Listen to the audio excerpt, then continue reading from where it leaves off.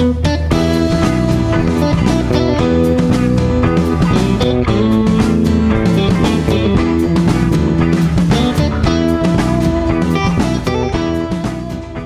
けのこのお弔い。一休さんのとんち話。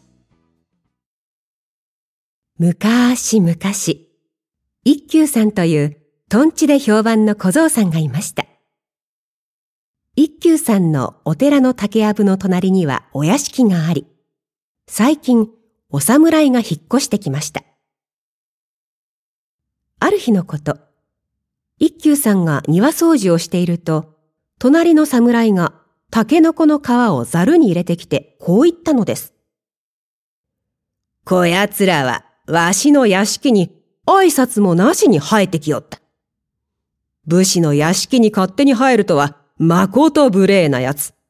よって、このわしが刀にかけてやった。無礼者の体はこのわしが弔ってやる。だから残った着物はお前のところに返してやろう。それを聞いて、一休さんは腹を立てました。お寺の竹の子を独り占めして、いらない皮だけ持ってくるなんて。よーし、見ていろ。一休さんがお侍の屋敷に行くと、ちょうど竹の子が茹で上がるところでした。一休さんはペコリと頭を下げて侍のところへ行くと言いました。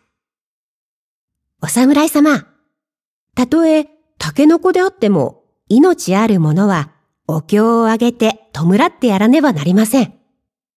ですから、このタケノコの体をお寺に持って帰りますね。なぬ？それとも、お侍様がタケノコのためにお経をあげてくださいますか？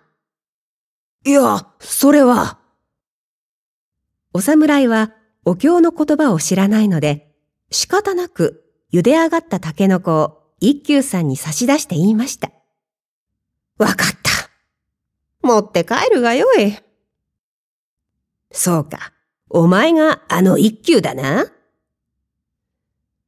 こうして茹でたタケノコを手に入れた一休さんは、お寺で簡単なお経をあげると、あとはみんなで美味しく食べたのでした。おしまい。